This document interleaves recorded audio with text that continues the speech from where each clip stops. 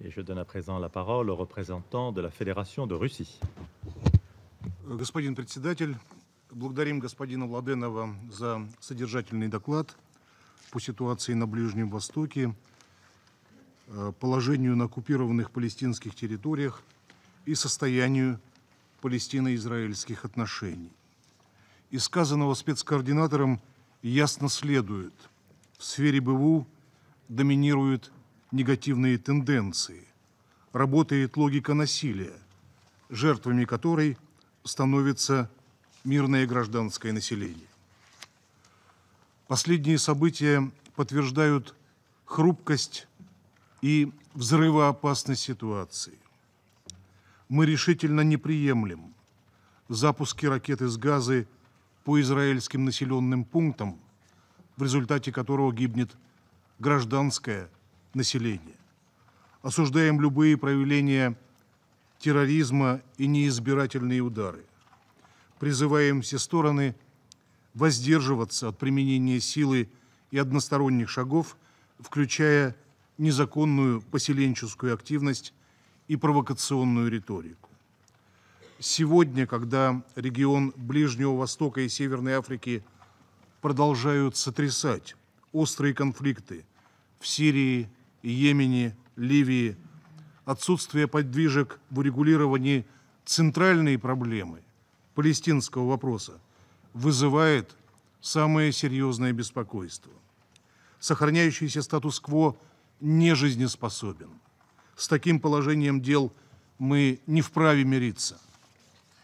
Альтернатива существует. Она состоит в активизации коллективных усилий по перезапуску переговорного процесса, направленного на реализацию двугосударственной формулы урегулирования, предполагающей мирное и безопасное сосуществование двух государств – Палестины и Израиля в рамках международно признанных границ. На повестке дня остро стоит задача оживления диалоговых каналов.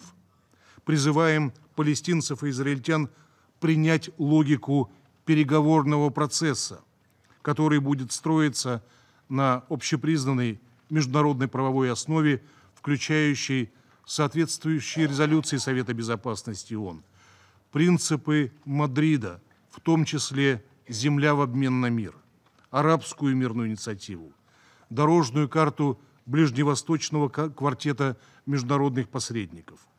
Сохраняет актуальность доклад «четверки» от 2016 года, в котором четко прописаны шаги, которые необходимо принять для преодоления негативных тенденций, доминирующих в ближневосточном урегулировании.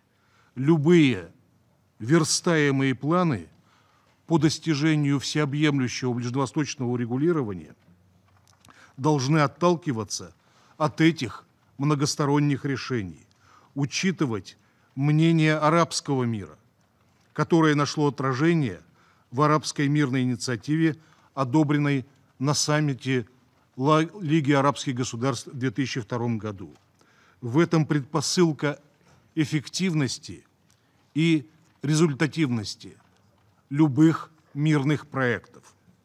Россия продолжит шаги для возвращения позитивной динамики и позитивной повестки дня в палестино-израильское досье.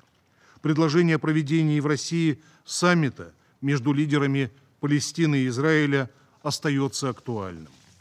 Считаем важной роль региональных игроков, в частности Египта и Иордании. Исходим из того, что очередная межпалестинская встреча в Москве в феврале этого года стала вкладом в усилия по преодолению раскола в палестинских рядах.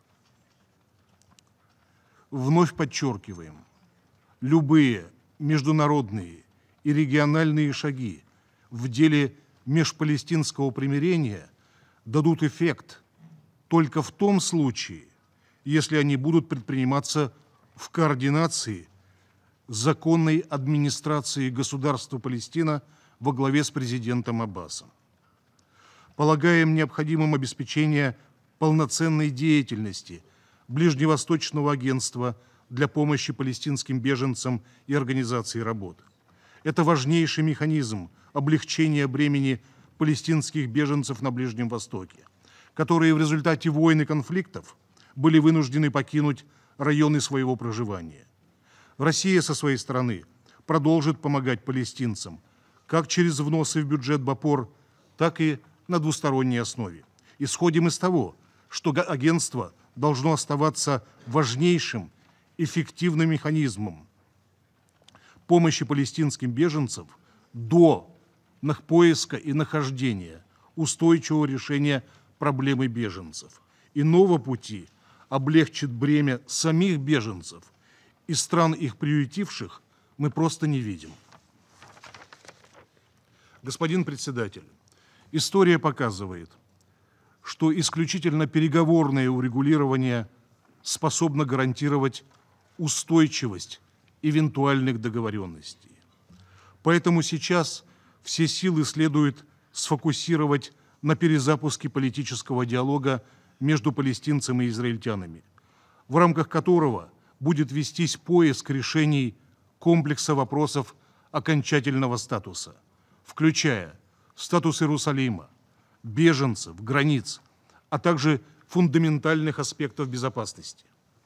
Принцип многосторонности, взаимоуважительного, взаимоуважительного диалога с вектором на компромиссы, поиск переговорных решений должны определять парадигму решений проблем в отношениях между Израилем и арабским миром. Односторонние шаги, как то признание суверенитета Израиля над оккупированными Голанами, не меняют статус этих территорий, который определен соответствующими резолюциями Совета.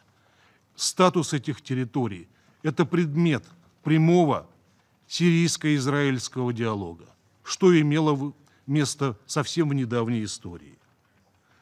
Такой подход определен и зафиксирован ясно генеральным секретарем ООН и подавляющим большинством государств мира. Он полностью соответствует одобренными нами консенсусом в этом зале резолюциям Совета Безопасности.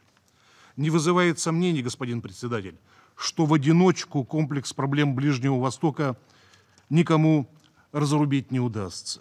Требуется сложение индивидуальных усилий. Только широкая, инклюзивная международная коалиция способна одолеть террористическую угрозу. Только активное международное сотрудничество по единым правилам игры позволит урегулировать многочисленные региональные конфликты, включая палестино-израильский. Приглашаем всех к такому сотрудничеству и взаимодействию. Благодарю за внимание. Je remercie le représentant de la Fédération de Russie pour sa déclaration.